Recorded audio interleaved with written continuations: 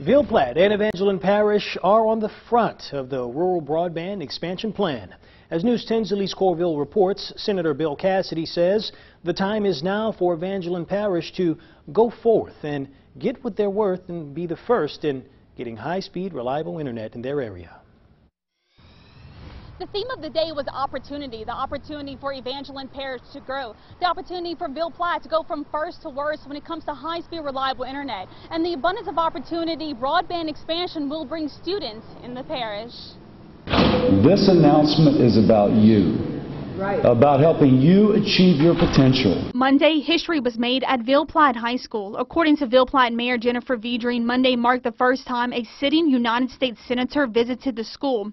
Senator Bill Cassidy visited the rural town to announce that the National Telecommunication and Information Administration will fund a $29.9 million grant to build broadband infrastructure in the parish, along with Acadia and St. Landry parishes. $30 million coming to bring high-speed broadband internet, not just to this school, but to all other towns, to the farmers, to the business people, to the doctors, you name it. And that will be the inflection point where Evangeline Parish starts to take off. Ville Platte currently has the fifth slowest internet speed in the nation. You don't quite realize it right now.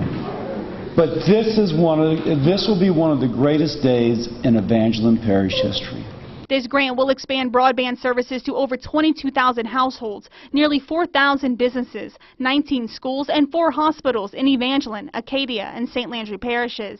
It will provide speed up to 1 gigabyte per second with an option of 100 megabytes for $60 a month or less. This is the point in which you can say, from this point forward, the potential of each of you is more likely to be realized. Reporting in Evangeline Parish, Elise Corville, KLFY, News 10.